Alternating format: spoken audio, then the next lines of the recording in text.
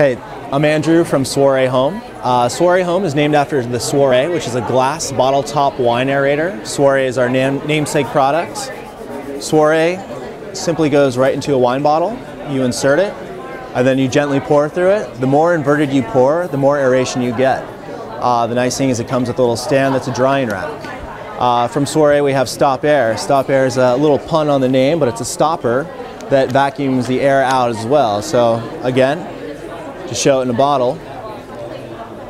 Goes right into the bottle, press down gently. As you pump, the suction brings the stopper down into the bottle, pump 10 to 15 times, and it'll pull the air out of the bottle, preserving what's in it.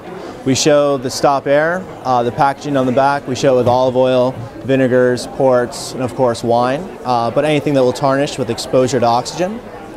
Uh, then we have the Tempour, a brand new product just released. Uh, this is a modular stainless steel uh, wine pourer. The bottom uh, has freezer gel, medical grade freezer gel inside of it. And then this clicks right into the top, which has a screen for uh, sediment filtration, or aeration hole, uh, and then a drip-free pour edge with a stopper.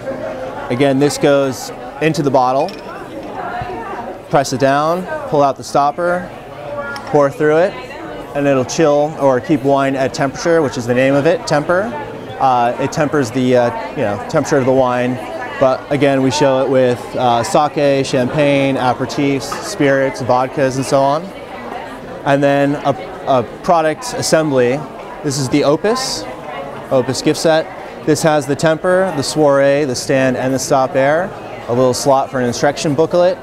Uh, and this product is uh, coming out in September. So this will have a uh, $60 to $70 retail. This is a 40 to $50 retail. Stopair is 20 to 25, and so is the Soiree 20 to $25 retail.